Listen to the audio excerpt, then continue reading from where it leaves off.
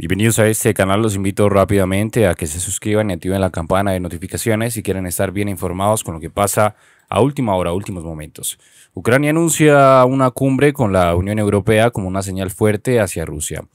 Cube reclama ahora aviones de combate, una demanda que Estados Unidos rechaza por el momento. Ucrania anunció el martes la celebración del próximo viernes en Kyiv de una cumbre con la Unión Europea, lo que enviará una señal fuerte hacia Moscú casi un año después del inicio de la invasión rusa. El hecho de que esta cumbre se realice en Kyiv es una señal fuerte dirigida tanto a nuestros aliados como a nuestros amigos, declaró el primer ministro ucraniano.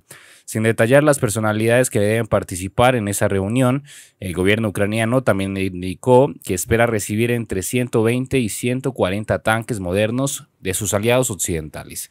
Rusia anunció por su lado la conquista de una localidad cercana a Bakhmut, en el este, que desde hace semanas se convirtió en el epicentro del conflicto.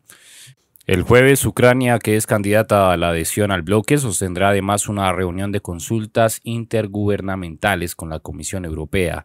Se trata de dos eventos sumamente importantes con respecto a la integración europea de Ucrania.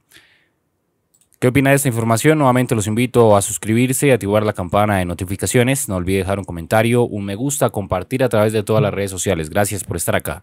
Noticias al día últimas declaraciones que ha hecho Víctor Orbán, que en pocas palabras le pide a Ucrania que se rinda y que se siente ya a negociar, mientras Zelensky está ahora mismo avanzando también para que se acelere el proceso de anexión a la Unión Europea.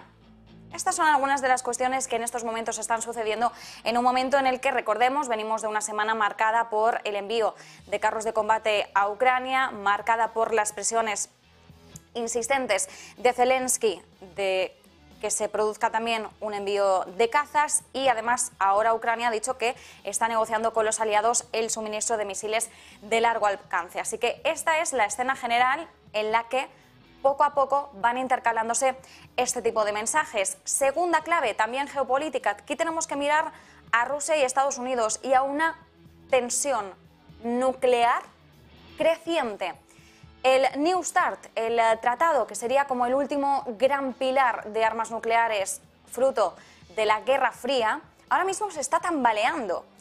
¿Qué ocurre? ¿Por qué está aumentando el nerviosismo? Bien, lo vamos a resumir. Estados Unidos se queja de que Rusia no le da acceso ahora mismo a sus territorios para poder hacer pues, las revisiones nucleares pertinentes. Pero claro, aquí Rusia en pocas palabras, le dice a Estados Unidos, bueno, hay que tener en cuenta que en el entorno geopolítico que estamos viviendo, pues ahora mismo nosotros no vamos a abrir nuestras fronteras para que entren ustedes y a saber qué es lo que ocurre. Bueno, esto sería el mensaje muy resumido, pero Rusia mantiene su posición de que no está violando el tratado, que su cumplimiento de este tratado es irreprochable y pone más bien el peso de estas tensiones que van en aumento sobre Washington, sobre la Casa Blanca, sobre Joe Biden.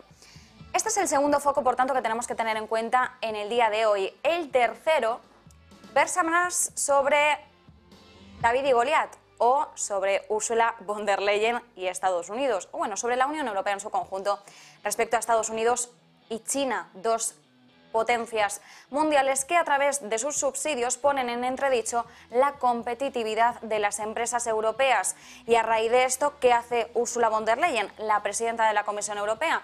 Pues sale a la palestra anunciando el que es al menos el objetivo de ese Green Deal, de ese plan, acuerdo verde para poder competir frente a los subsidios de estas grandes potencias. En el caso de Estados Unidos, recordemos que ese plan es la ley de reducción de la inflación. Lo que no nos queda muy claro, porque aquí Ursula von der Leyen ha sacado su faceta política, es cómo se va a financiar este plan. No ha quedado del todo claro y enseguida lo veremos porque vamos a rescatar cuáles han sido las palabras exactas de Ursula von der Leyen cuando se le ha preguntado al respecto. Y además también hay que tener en cuenta que cuando hablamos de la Unión Europea en su conjunto, cada país tiene sus particularidades y no es lo mismo dar rienda suelta a las subvenciones cuando hablamos de las dos mayores economías, como es el caso de Alemania y Francia, a cuando hablamos de otros países que no tienen esa capacidad industrial ni económica hasta qué punto ese principio de equidad del que tanto presume la Unión Europea puede verse en estos momentos entredicho. Esa es la clave.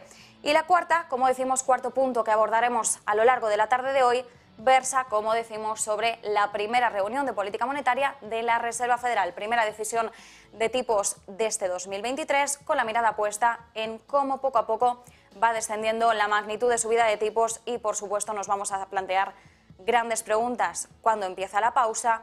¿Cuándo podemos empezar a esperar ese recorte de tipos de interés? Bien, pues vamos a analizar estas claves y, como decimos, empezamos por la parte geopolítica, en cómo está creciendo, como decimos, ese abismo entre Hungría por un lado y Ucrania, la Unión Europea y la OTAN por otro.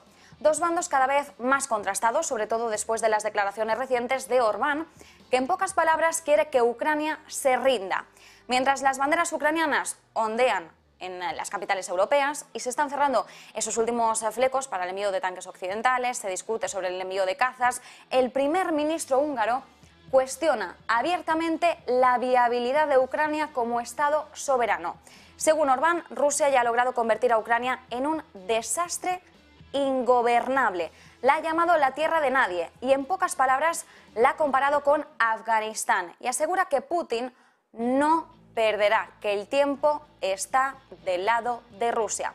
El enfoque de Orbán se puede interpretar de muchas formas. Esto como siempre. Por un lado, como una estrategia política interna para distraer la atención de los problemas económicos de Hungría. Eso por un lado. Pero también se entiende como que Orbán quiere preservar su relación con el Kremlin. De esta forma, como decimos, está creciendo el abismo entre las posturas de los aliados. Hungría va por separado, mientras la mayor parte de los aliados occidentales apuestan por un mayor apoyo militar a Ucrania, Hungría pone en duda la viabilidad de esa ayuda. ¿Qué sentido tiene? Lo que teme Hungría es que todo este apoyo esté cayendo en saco roto. Y recordemos que ahora Ucrania ha dicho que está negociando con los aliados el suministro de misiles de largo alcance. Insisten que Ucrania debería dejar de luchar y tendría que sentarse a hablar. Y así lo decía Orbán la semana pasada. Lo que decía, y cito textualmente, es que se exige, Hungría exige, que se haga todo lo posible para congelar la línea del frente, que haya un cese al fuego y que comiencen las negociaciones. Mientras tanto, Zelensky ha anunciado cambios legales en el país que cambiarán la realidad social, legal y política. Reformas encaminadas, según dice, a una mayor efectividad y transparencia de la Administración para acelerar el ingreso en la Unión Europea. En su último mensaje, Zelensky se ha centrado sobre todo en la que va a ser la próxima cumbre con la Unión Europea, va a ser a finales de esta semana. El viernes se celebra en Kiev, así que parte de las miradas geopolíticas se van a centrar en esa cumbre en apenas dos días. Dice Zelensky que esta va a ser una semana de integración europea. Y además también pues, informaba de una reunión del equipo internacional de su gobierno para preparar las posiciones de Ucrania de cara a las negociaciones con los representantes de la Unión Europea. Muy importante también, insistía Zelensky, en que en estos momentos se están preparando nuevas reformas en Ucrania que van a cambiar la realidad social, legal y política de muchas formas. Dice Zelensky que va a ser más humana, más transparente y más eficiente y que esperan decisiones de los socios de la Unión Europea, que estén en línea con el nivel de cooperación alcanzado entre las instituciones y la Unión Europea y también con los progresos que prevé hacer Ucrania, que son obvios, dice, pese a la guerra. Esta es, por tanto, una de las escenas que tenemos poniendo el foco sobre la postura de Hungría, poniendo el foco también sobre la postura de Ucrania respecto a los avances que quiere hacer para acceder a la Unión Europea. Si no te quieres perder de los últimos acontecimientos que pasan en el mundo, suscríbete y activa la campana. Somos Noticias al Día.